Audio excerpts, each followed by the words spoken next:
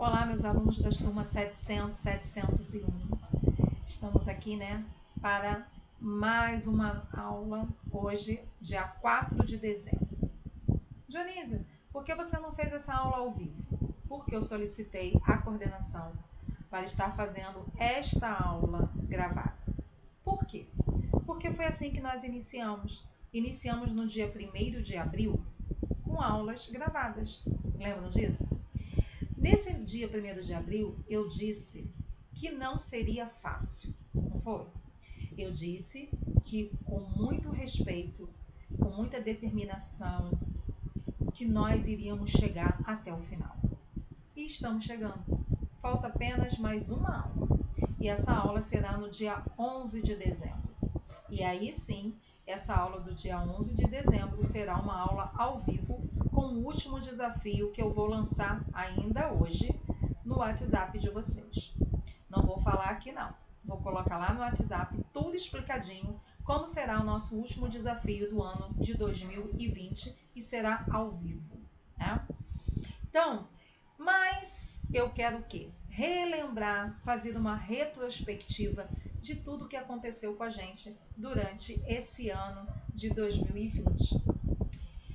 Apesar de ter sido um ano atípico, um ano complicado, um ano com perdas, mas também com conquistas.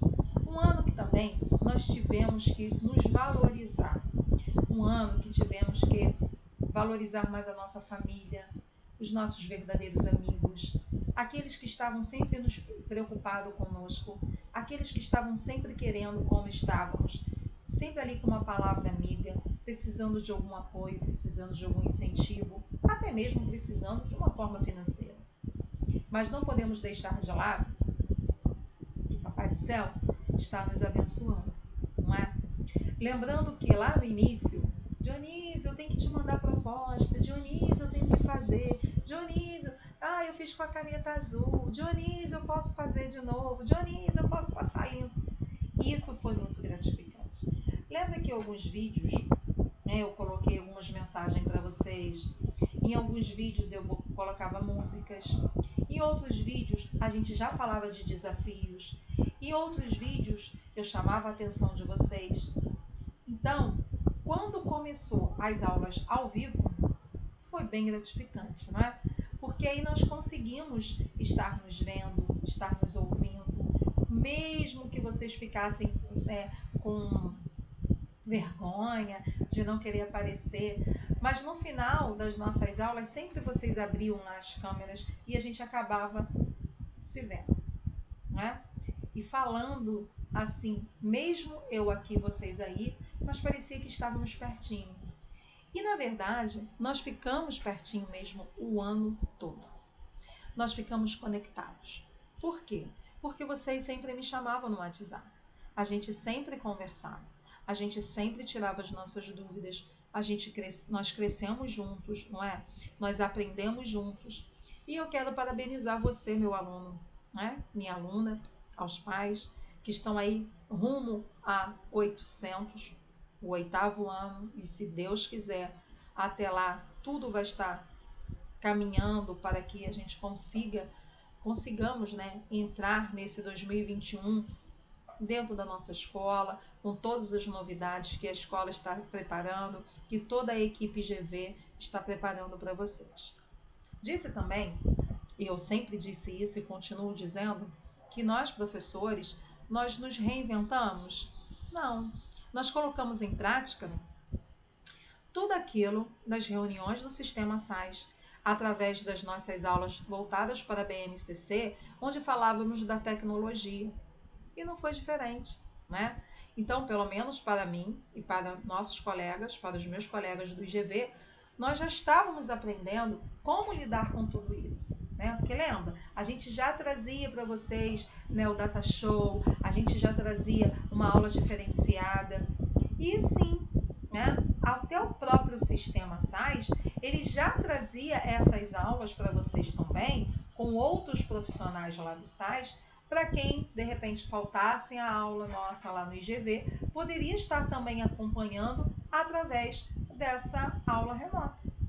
Então, na verdade, nós não nos reinventamos. Na verdade, nós colocamos em prática aquilo que foi passado para gente, através de cursos, através de reuniões, não é? E não pensa vocês que foi fácil. Não, não era fácil, né? Tivemos muitos sábados em reuniões, muitos sábados ali em confraternização, junto com a nossa direção e coordenação, para estarmos crescendo e para hoje podermos dizer que foi fácil, não foi tão difícil assim. O mais difícil, vou dizer, foi a gente achar um, né, achar um aplicativo legal para poder estar transmitindo essas aulas para vocês.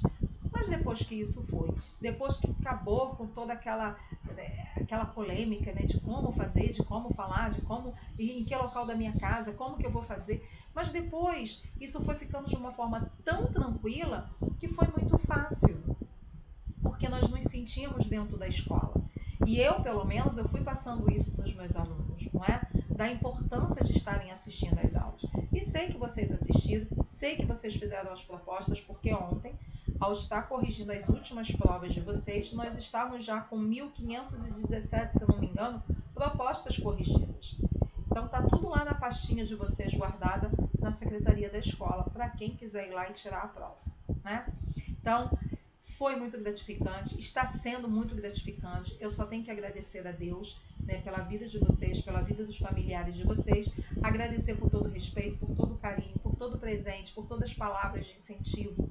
Momento que eu tive né, com meu filho também passando por problemas de dificuldade, vocês estavam junto comigo.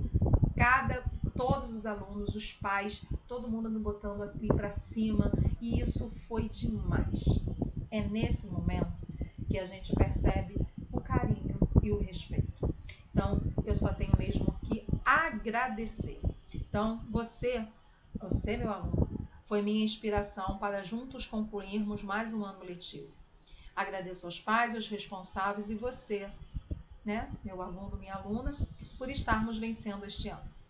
Até 2021, saúde e sucesso a todos. Com meu muito carinho, meu muito respeito, meu muito obrigado. Mas lembrem-se que eu vou estar colocando lá no WhatsApp o nosso desafio do dia 11 de dezembro. E aguardo vocês para juntos fecharmos este ano letivo. Um grande beijo e até lá!